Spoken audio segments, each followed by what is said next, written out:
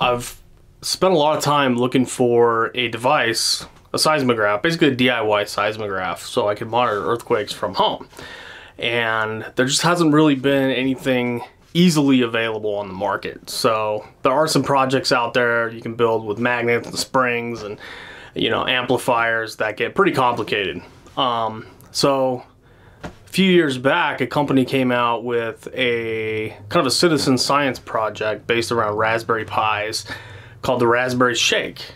And these things are really cool. They took a basically a sensitive geophone. I think the native frequency was around 4.5 hertz, so that's just how many times per second. Um, and they bandwidth extended it to drop that frequency down to you know close to zero hertz or just above. And so um, you, in a, in essence, can pick up earthquakes that are extremely distant with this device. And they have i think a 24-bit analog to digital converter along with amplifiers and a few other things that come in this package that just attaches to a raspberry pi with their custom operating system. And so it's really just kind of a plug and play solution. It's it's amazing. So i have one of these in my yard and i've been using it for the last couple years to monitor earthquakes all around the whole globe. And it's it's just fun. It's it's an educational tool and you can you can keep track of what's happening everywhere, not just locally. So you can pick up these distant earthquakes in the mags 6.5, 7 plus range that are hitting thousands of miles away. And you know, these things ring the bell, they ring the earth like a bell.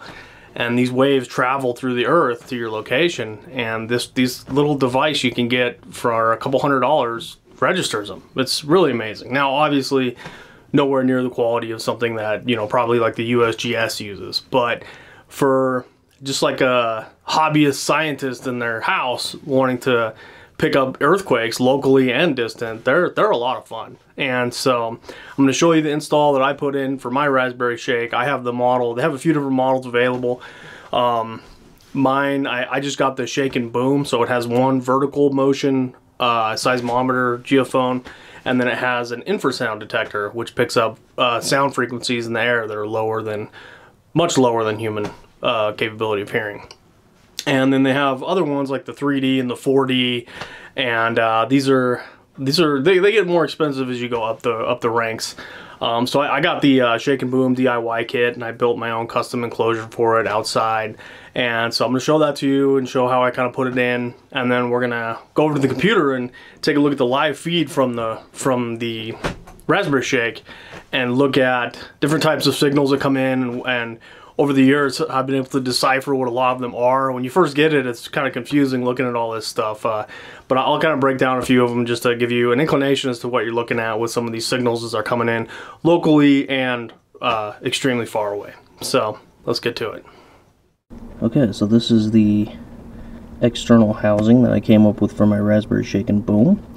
The model that has also the infrasound sensor along with the vertical motion seismograph, uh, geophone and you know basically it's just PoE ran out has a surge protector hooked up to a ground just right here.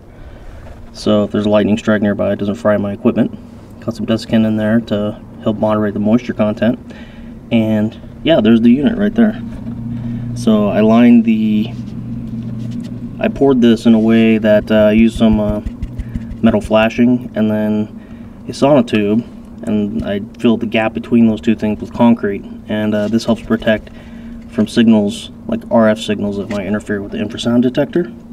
And then it's sitting on a concrete pad. And it is extremely sensitive. It's amazing the signals that this thing will pick up locally and across the globe. So I'll cover some of those here coming up shortly. Okay so after you set up your shake this is the interface for the operating system of it. So there's some settings in here you need to fill in to get it online and streaming data to the sh- the servers at the Raspberry Shake headquarters. And after that's all done, you can cruise over to Station View. And Station View kind of shows you all the shakes around the whole Earth. So there's typically a couple thousand that are online. Um, if you zoom all the way out, you'll see right now it looks like it's about 1930 shakes. You can see this number up here in the corner. So it shows you the shakes that you're, the number of shakes that you're actively, actively viewing. And once you're all set up, your station will pop up in here. I am in this cluster that is down in southern Arizona. And all these little red dots are earthquake events that have been picked up by the network. So what's kind of cool is this network isn't confined to any one country. It's worldwide. And, you know, all this data goes to a central location and it's all freely available to anyone that wants to download it. So if you want to view your shake, there's a couple ways to view the data coming from it. There's a program you can install in Python called RSUDP. It's a little bit more involved. It's not a requirement. Uh, they have a browser website that you can go to.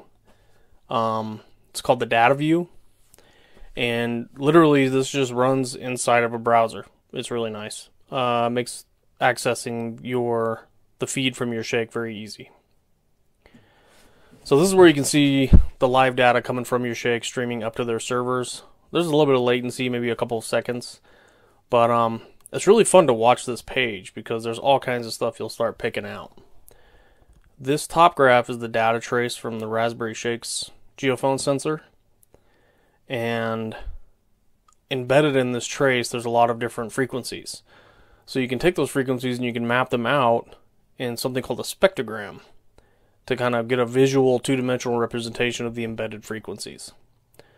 And so the y axis here is the frequency from 0 to 50 hertz, and the x axis is your time. And then all these are the different frequencies the Raspberry Shake has picked up. So it's kind of quiet right now because it's like 2 in the morning here. But uh, there's a road about, a four lane road about 200 yards from my house. And these are vehicles dr- driving by on the road. So it's very sensitive. These are actually my footsteps from inside my house, and the Raspberry Shake is located outside my house, 20 yards away. So it's actually it's so sensitive it's picking up footsteps in the house. I'm not sure what this signal is here. This might be a stereo system in a car. Um, I'll pick up my washing machine. I'll pick up my neighbor's washing machine. Um, and of course, you get earthquakes as well. And that's you know, it's fun to look at all these other signals, but that's generally what you're interested in. And before I look at an earthquake, though, we're going to check out a few other signals that I picked up on this thing.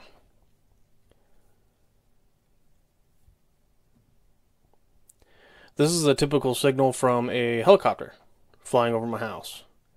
So this is this is really interesting. This is the main rotor here and then this is the tail rotor. And you can see they spin at different frequencies.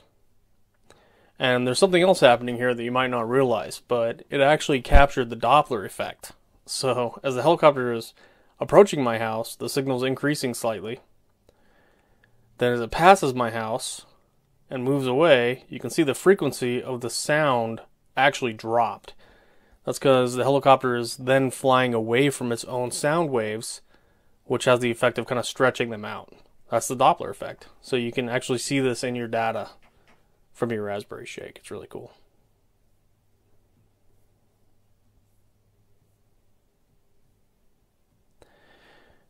And let's see, what else we got?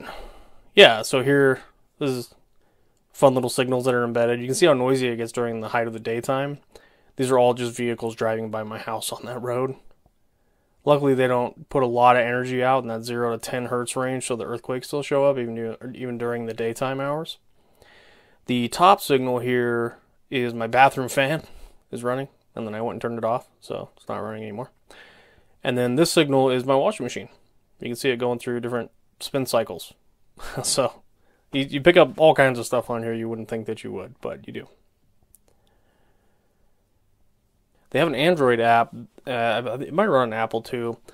That you can view these earthquakes in the app and pull out screenshots with the information about the earthquakes, which is kind of fun.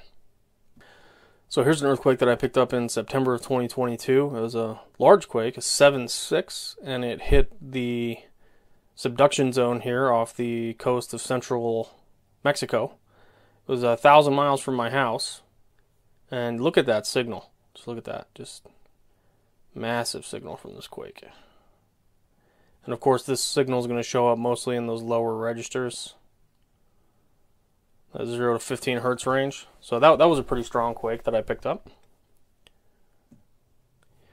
Here's even a stronger quake that was much closer to my house. Uh, this is 295 miles away from my location. November 2022. It was 6.2 in the Gulf of California. And it hit at night, so the Raspberry Shake was the, the environment was pretty quiet. And you can see I, I got signals all the way past 20 hertz from this quake. So, a really strong signal. So, that's fascinating to look at. Here's an example of a more distant earthquake. This one was 2,800 miles from my house. It was a 7.2, and it hit in the Alaskan Peninsula, way up here. And I still got a really strong signal here in Tucson. So, you know, like I was saying, these earthquakes kind of they ring the planet like a bell. So these these waves travel thousands of miles, and it's just amazing. This instrument that just cost a couple hundred dollars can pick up these signals from all over the world. That's just awesome. So this is a lot of fun. I mean, if you are a hobbyist, if you just like geology, if science intrigues you, um, you can have a seismograph in your house. Just you don't need anything fancy. You don't need to set it up outside. You can just set it down somewhere quiet, like in a basement, and it will register earthquakes all over from all over the globe. So I've been really happy with this thing. I think it's the best money I've spent in a long time, and uh, it's just it's really fun to be able to listen to the earth like this in such a professional way. So head over to their website, take a look at their products, and you know I haven't been officially sponsored by them. I'm just doing this because it's something that I'm passionate about, and I hope you learned something. And uh, if you decide you want to grab one of these devices and set it up, drop a comment and let me know what you did. Thanks.